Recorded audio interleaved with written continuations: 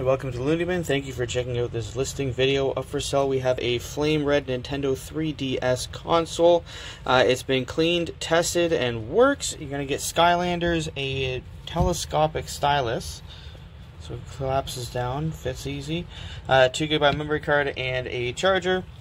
The console itself has a little bit of wear and tear, which we're just going to try to show out here with the light. The picture doesn't always show everything. So it's a little scuff right there past the thumb, a couple little small ones across the shell, and then just some little scrapes and scuffs along the edges,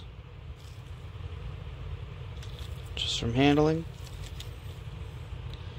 Not too much damage on the back, just a little scuff here and just a couple light scratches. Opening up the console.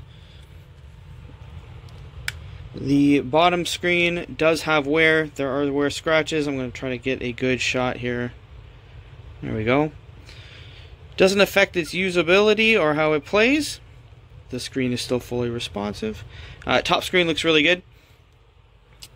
Nothing to mention there. A little bit of nicks on the joystick, but again, everything functions just fine. I'm going to power it on here for you just to show.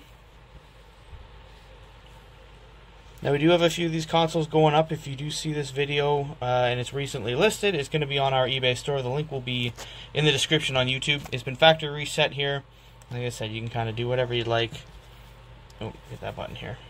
Just set it up the way you want it, and you're good to go. Thanks for checking out this video. Check our store. We have more.